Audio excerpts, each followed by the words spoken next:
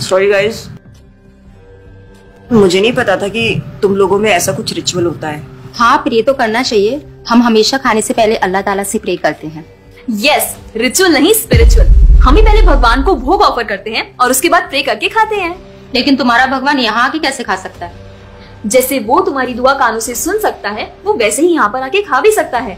भगवान का form personal है। अगर वो कानों से सुन सकते हैं तो मुँह से आके खा भी सकते हैं। उनके कान और मुँह दोनों है। शालिनी तुम प्रे नहीं करती खाना खाने से पहले? नहीं लेकिन मेरे चाचा ने एक बार कहा था कि हमको वो गॉड ऑफ़ फ़ूड को और फार्मर्स को थैंक यू बोलना चाहिए। You mean Annapurna Devi? और गॉड ऑफ़ फ़ूड यस हमें उन्हें थैंक करना चाहिए और साथ में फार्मर्स को भी। But I believe in watering the roots देखो, हम हमेशा क्रिएशन को तो अप्रिशिएट करते ही हैं, लेकिन हम क्रिएटर को ना अप्रिशिएट करना भूल जाते हैं। अभी सोचो, पानी ना हो, हवा ना हो, उपजाऊ मिट्टी या धरती माँ ना हो तो फार्मर क्या कर लेगा? So I believe that we should be thanking the creator the lord who is providing us with all the basic necessities point अब तुम किस किस को थैंक करेगा? वैसे भी तुम्हारे तैतीस करोड़ तो देवी देवता है। बताओ किस किस को थैंक करेगा तुम? और शांडी तुम बताओ, तुम किस गॉड को मानता है? मैं ऐसे किसी गॉड को नहीं मानती लेकिन I think Shiva is a big god see I am very sorry but आपने अपने वो बड़े भगवान का स्टोरी तो सुना होगा ना जहाँ वो अपनी मरी हुई वाइफ को शोल्डर पर लेकर पूरे इंडिया का चक्कर लगा रहा है। अब तुम मुझे बताओ जो गॉड अपनी वाइफ के मरने पे ऐसे कॉमन मैन की तरह रोता है वो गॉड हो सकता है क्या? अच्छा maybe I don't know much about this story but he is very famous and north में तो राम जी भी बहुत फ़ेमस है ना। उनका स्टोरी तो तुमको पता होगा ना। सबको पता है। उनकी वाइफ को रावण ले गया था। हाँ पता है। अब तुम मुझे बताओ वो गॉड है? वो अपनी वाइफ को भी अकेला नहीं बचा के ला सकता? उसको अपनी वाइफ को बचाने के लिए भी वानर सेना की हेल्प चाहिए। और उस वानरों को भी तुम पूछता है। आई एम सॉरी और गीता तुम तुम कृष्ण को मानती हो। और वो तो हर लड़की के साथ रासलीला करते रहते थे। ऐसा कैसा करेक्टर है गॉड का जैसे हर से प्यार हो जाता है? और वो खुद डर के अपना जन्म स्थान छोड़कर चले गए थे। गॉड को कभी डर लगता है क्या? और जिसे खुद डर लग रहा है वो तुम लोगों की हेल्प कैसे करेगा? शिट यार this is so complicated and confusing it is confusing because you are following the wrong path it is very beautiful and sacred I will show you the right path in Asifa I know what you're trying to do and Shalini कुछ भी confusing नहीं है। You know what the problem कि तुझे पता ही नहीं है क्योंकि तूने आज तक शास्त्र ही नहीं पढ़े हैं। तो पता कैसे चलेगा कि क्या सही है और क्या गलत? जन्म कर्म चा मे दिव्यम एवं योबेति तत्वता त्यक्तवा देहम पुनर्जन्म नैति मामेति सो अर्जुना। भगवान की लीलाओं को समझना इतना आसान नहीं है। उसके लिए शास्त्रों का अध्ययन करना पड़ता है और वो भी एक प्रामाणिक गुरु के अंडर रह के उनकी शरण लेके। अब अगर तुमने शास्त्र पढ़े होते तो तुमको ये पता होता कि शिव जी ने जो इमोशंस उसमें दिखाए थे, वो शोक नहीं, विरह था विरह। विरह दोनों सेम नहीं होते क्या? Let's start from the basics शोक इज़ मेटीरियल एंड विरह इज़ स्पिरिचुअल शोक ना दुख की अनुभूति कराता है। वेराज जो विरह है, उसमें जो सेपरेशन की फीलिंग होती है ना, वो सुख का अनुभव कराती है। भगवान भगवत गीता में ना शोक करने वाले व्यक्ति को मूर्ख बताते हैं। गतासुम अगतासुम नानु शोचंती पंडिता।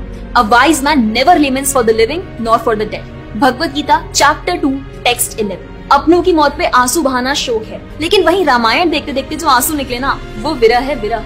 और ऐसे विरह से हमारा भगवान के प्रति प्रेम बढ़ता है। तो जिस तरह से शिव जी ने विरह को दिखाया था, उसी तरह राम जी भी सीता मैया के जाने के बाद विरह में भटकते हुए रहे और यही नहीं, सीता देवी इतनी प्योर है ना, कि उन्हें राम जी के अलावा कोई टच भी नहीं कर सकता था। रावण जिनको लेके गया था, वो छाया सीता देवी थी। असली सीता देवी तो अग्नि में समा गई थी और वो अग्नि परीक्षा के वक्त बाहर आई थी। और आसिफा तू क्या बोल रही थी भगवान राम को अपनी पत्नी को बचाने के लिए बानरों की मदद लेनी पड़ी थी। I mean god is all powerful right हाँ आई मीन वो अकेले भी तो मार सकते थे ना? यार शालिनी अगर तूने कभी रामायण पढ़ी होती तो तुझे पता होता जब खर और दूषण आए थे अपने पंद्रह हज़ार ऐसे दानवों के साथ जो इंसान को खा जाते थे उन सब के साथ राम जी ने अकेले बिना किसी की हेल्प के उन सबके चिथड़े उड़ा दिए थे। अब ऐसे राम के लिए रावण को मारना मुश्किल है क्या? हाँ लेकिन बाद में वानरों की हेल्प क्यों ली? उनको अपनी सेवा में लगाने के लिए उनकी ग्लोरीज बढ़ाने के लिए। अरे उन्होंने तो एक छोटी सी गिलहरी तक को अपनी सेवा में लगा लिया था। वॉट कभी पढ़ा हो तो पता हो ना। खैर और हम हनुमान जी की पूजा इसीलिए करते हैं क्योंकि भगवान तक पहुँचने का रास्ता उनके भक्तों की सेवा है। जब भगवान देखते हैं कि मेरे भक्तों का गुणगान हो रहा है या कोई सेवा कर रहा है तो वो बहुत खुश होते हैं। जैसे मैं तेरी मॉम के सामने अगर तेरी तारीफ़ करूँ तो वो खुश होती है ना? पॉइंट इसी तरह भगवान हमसे खुश होते हैं। जब हम उनके भक्तों की सेवा करते हैं, पूजा करते हैं, और रही बात 33 करोड़ देवी देवता की, आसिफा तो मुझे ये बताओ what is your favourite genre in movies psychological thriller और शालिनी, तेरी?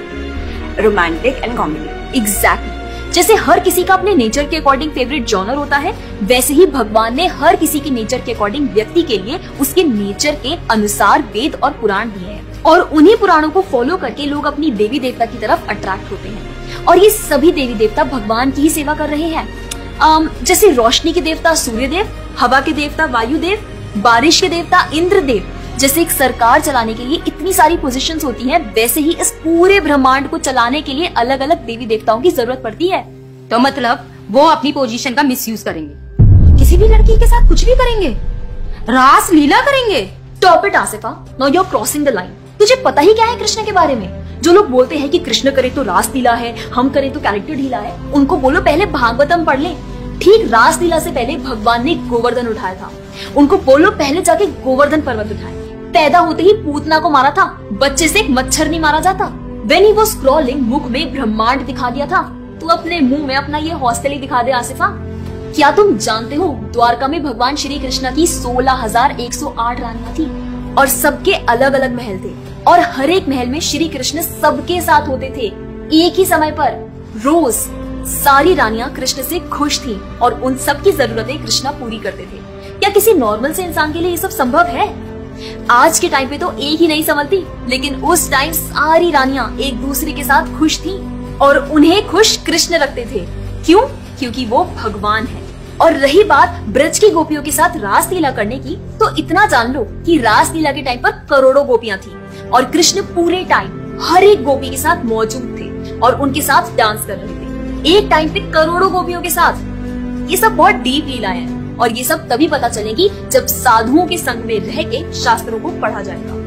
हवा में तीर चलाने से या सुनी सुनाई बातों पर यकीन करने से कुछ नहीं होने वाला। और रही बात अपने भक्तों को बचाने की तो भगवान ने तो अपने भक्त परीक्षित महाराज को गर्भ में बचाया। पाँच साल के प्रहलाद महाराज के लिए नरसिंह अवतार लेकर आए और उनको बचाया। यहाँ तक कि वो अपने गुरुदेव सांदीपनी मुनि के बेटे को मरने के बाद वापस लाए और उनको ज़िंदा किया। आई एम रियली इम्प्रेस्ड यार। हिंदू होते हुए भी मुझे फैक्ट्स पता ही नहीं थे। मेरे पेरेंट्स ने मुझे कभी इन सब चीज़ों के बारे में बताया ही नहीं। हाँ पेरेंट्स की तो गलती है लेकिन हम भी तो वही कर रहे हैं जो उन्होंने किया। We not learning about our culture not reading Ramayana Mahabharata और भगवत गीता आजकल तो ये सब कुछ रीड करना बहुत इजी भी है यार everything is available on our phones and the problem is that we don't want to learn और इसीलिए हमें कोई कुछ भी बोलता है और हम उसे मान लेते हैं और अपने बिलीफ को चेंज करने के लिए रेडी हो जाते हैं। एक्चुअली में, पता है, किसी का हार्ट ट्रांसफॉर्म करना है तो प्यार से करो, ज्ञान से करो, पैसे और तलवार से नहीं। और अब बारी आपकी है। अगर आप भी चाहते हैं कि कोई एड़ा गेड़ा, नत्थु गेड़ा, अगर आपको कुछ भी ना बोल जाए, आपका बेवकूफ़ ना बनाए तो जाइए। जाइए और अपने कल्चर के बारे में जानिए। ग्रंथ पढ़िए और अपने बच्चों को भी पढ़ाइए। जाकर इस वीडियो को जितना हो सके उतना शेयर करिए, ताकि कोई और लड़का या लड़की इस केरला स्टोरी का शिकार ना बने। और हाँ इस वीडियो को लाइक करें और भक्ति टुडे चैनल को सब्सक्राइब करें।